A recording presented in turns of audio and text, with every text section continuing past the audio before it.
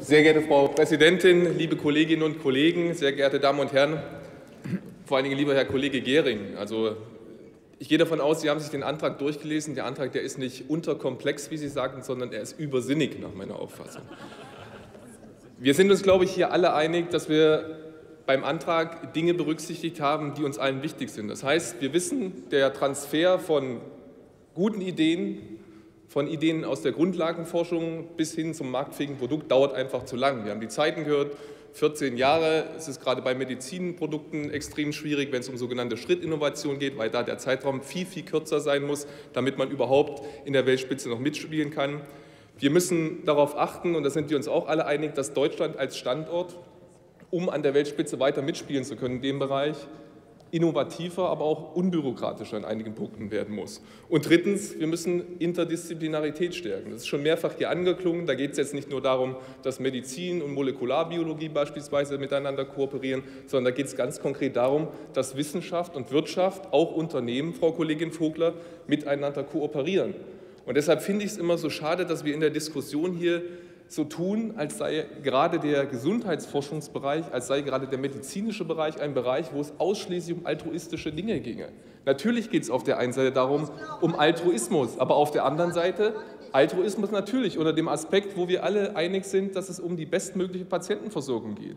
Aber um diese Patientenversorgung zu erreichen, müssen wir doch auch Unternehmen, die forschen, Unternehmen, die gute Ideen haben, die dies in marktfähige Produkte umwandeln, unterstützen. Und da können wir nicht jedes Mal nur schlecht über diese Unternehmen reden und können sagen, das sind Unternehmen, die nur Gewinnmaximierung betreiben.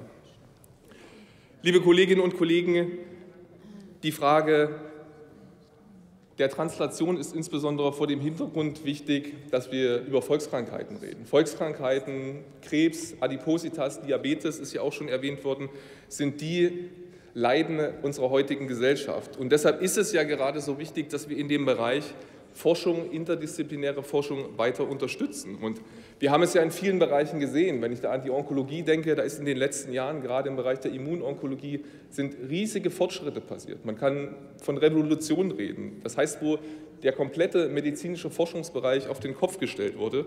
Und insofern ist es ja gerade auch vor dem Hintergrund von Big Data, wir reden immer über große Datenmengen, die da anfallen, so wichtig, dass wir klinische Ergebnisse, dass wir Ergebnisse aus klinischen Studien auch für weitergehende Forschung nutzbar machen.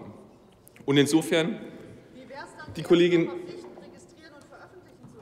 Ja, wir sind ja momentan bei der Diskussion der Europäischen Datenschutzgrundverordnung gerade bei diesem Punkt. Da geht es ja darum, dass man Ergebnisse aus klinischen Studien für weitergehende Forschung nutzbar machen können. Und deshalb unterstützen Sie uns doch und tun Sie nicht immer nur so, als würde das in der Schublade verschwinden, sondern unterstützen Sie diesen Antrag, weil dieser Antrag ist ein sehr, sehr gutes Mittel, dass wir auf diesem Weg etwas weiterkommen. Und bei der gesamten Frage nach Big Data, nach innovativen Ansätzen müssen wir viel stärker dazu übergehen, dass wir in Richtung Smart Data gehen. Also es geht ja konkret darum, dass wir diese guten Forschungsergebnisse, die wir haben, auch weitergehend nutzbar machen können. Und da können wir nicht einfach nur sagen, wir halten die unter Verschluss, sondern sie müssen gerade in diesem Kontext besser genutzt werden können.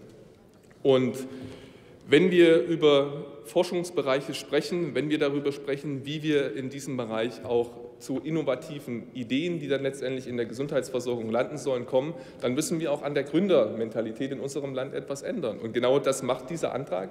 Dieser Antrag ist dafür da, um gerade junge Forscher, um junge Unternehmer, Start-ups zu motivieren, ihnen zu sagen, ihr könnt in Deutschland forschen, Deutschland ist Forschungsstandort und ihr habt eine Zukunft für eure Produkte. Und ich persönlich habe manchmal den Eindruck, dass wir von den Mentalitäten vollkommen anders ticken. Die Amerikaner sagen, sie haben eine gute Idee, that's a good idea, let's do it. Die Asiaten haben manchmal so ein bisschen die Mentalität, sagen, that's a good idea, let's copy it. Und wir Deutschen haben zu häufig die Mentalität, that's a good idea, let's regulate it. Und da wollen wir eben gerade nicht hin. Und deshalb bitte ich um Unterstützung für diesen Antrag und hoffe, Sie können diesem Antrag zustimmen. Vielen Dank. Vielen Dank. Letzter Redner zu diesem Tagesordnungspunkt ist der Kollege René Rospel.